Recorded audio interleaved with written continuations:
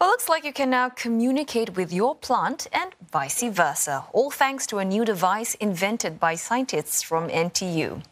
Well, this device sends electrical signals to and from plants.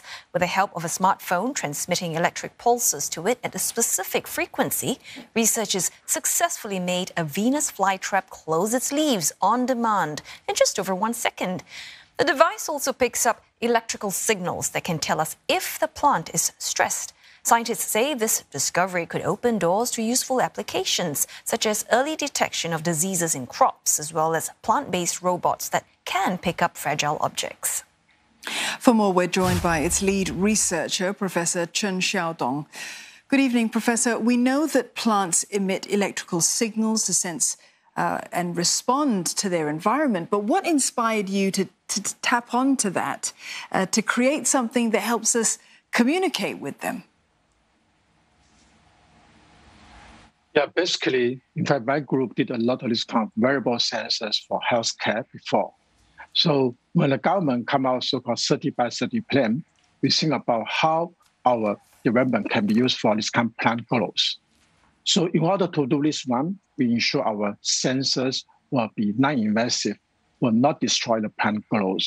So that's why you know we start from material design and for the interface building up and also devices integration to really come out non-invasive approach to monitor the electrical potential change on the plant leaf. Now, Professor, you have specifically chosen, you know, to test this out with a Venus flytrap. And is it because it reacts better than, say, other plants? Um, yes or no. In fact, when we start this project, we are want to look for one plant. It's really kind of electrical response and also people can see it easily. So we know already for the Venus fly, tra- flytrap, it's kind of mechanical response. And the science behind why this kind of lobes close and can capture insect is because this kind of electrical signal communication within the plants. So that's why the first our job is really come out this kind of electro and also device can really monitoring electrical signals in the plant. And then we use this kind of electrically can really stimu- communicate with plants and then stimulate this kind of lobe to close. It's more like a mechanical, mechanical approach. Professor Chen, what does it mean when a plant is stressed or alternatively relaxed? And, and does that differ uh, between you know, different plants? Well, in fact, so take example for our human body, we have ECG, the one approach to really measure the of heart status. So let's assume the doctor really to see this abnormal of this electrical signals from the curve.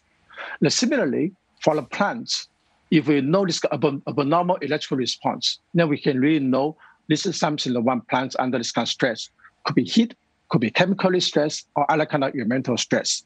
But of course, for different plants, in terms of electrical signal kind of the signature will be different. So this is something what we are doing now, seeing how we can really build in correlation between the response with this kind of different stress. So just looking ahead, there are plans then in the future to turn this um, research research into actual applications for farmers and others. Uh, of course, the answer is we want to really convert our this kind of discovery into this kind of useful technology application in our daily life. But however, this is something a bit long way to go because we need to ensure our sense colonies, individual sensors, it works under this kind of abnormal condition, like very hot condition or very cold condition, but devices can still work well. And also long-term stability. And also ensure our sensor attached on this kind of leaf will not destroy the plant growth itself because you know plant need this kind of respiration. And we put a sensor on top.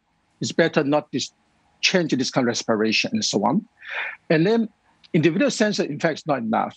You need this kind of networks to really connect all these kind of sensors together, together in a network and have systems and also have AI systems. You really can do this kind of data sorting and analyzing and feedback.